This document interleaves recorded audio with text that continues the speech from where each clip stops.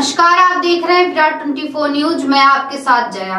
खबर रीवा ज़िले से है, जहाँ अमैया थाना क्षेत्र अंतर्गत खुटेही में एक युवक ने आत्मघाती कदम उठाया है। बताया जाता है कि वह किराए के मकान में रह रहा था, जो मझियार का रहने वाला है। युवक अंकित गुप्ता किन कारणों के चलते आत्मघाती कदम उठाया?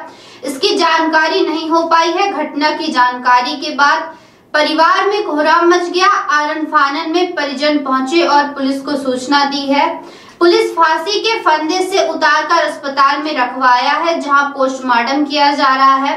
फ़िलहाल पुलिस युवक के द्वारा उठाए गए आत्मघाती कदम के कारणों की जाँच शुरू कर दी है।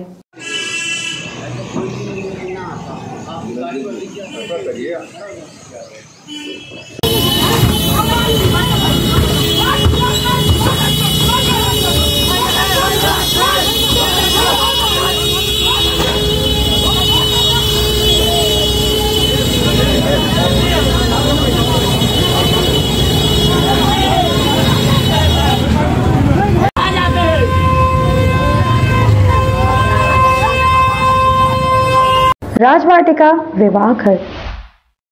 सर्व सुविधा युक्त प्राकृतिक सुंदरता से ओत प्रोत